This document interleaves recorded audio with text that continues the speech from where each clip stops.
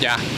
Xin chào quý vị các bạn. Hôm nay xin mời quý vị các bạn Chúng ta cùng Diêm sẽ đi tham quan khu vực ở bảo tàng thành phố Hồ Chí Minh quý vị. Hiện giờ thì Diêm đang có mặt tại khu vực thành phố Hồ Chí Minh, Sài Gòn. Ở đây à, tên này là bảo tàng thành phố Hồ Chí Minh. Thì cái bảo tàng bây giờ à, nằm trên đường khu vực ở Lý Tự Trọng về đường 65 Lý Tự Trọng. Ở đây là phía trước của công viên à, trước cái bảo tàng quý vị. Ở đây hôm nay Diêm đang đi Sài Gòn à, bữa nay là ngày à, mười mấy nhà như là 12 tây tháng 11 quý vị. Dạ mời quý vị ta xem vài hình ảnh về cái bảo tàng thành phố Hồ Chí Minh quý vị. Dạ đây là góc đường Sài Gòn à, Lý Tự Trọng và Nam Kỳ Khởi Nghĩa quý vị. Ngã tư. Đây là mấy vị khách Hàn Quốc à.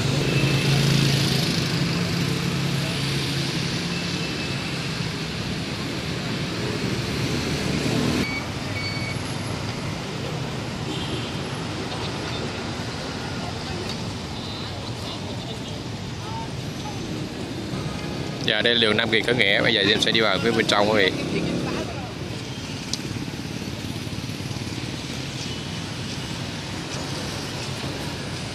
À, Vé hiện nay là 15 ngàn một vé quý vị.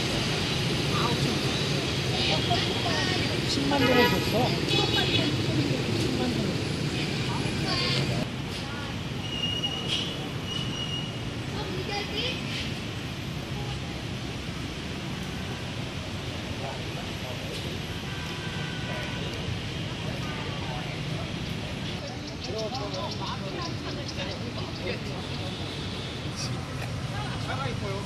사람이.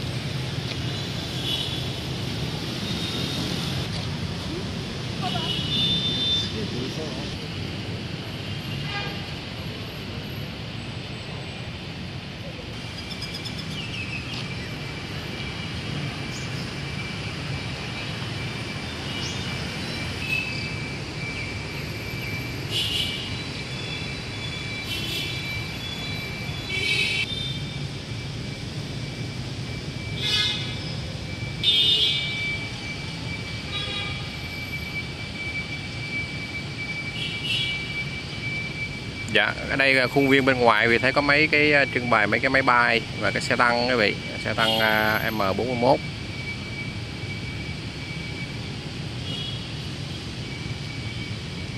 Dạ đây bây giờ Diêm sẽ đi vào phía bên trong quý vị.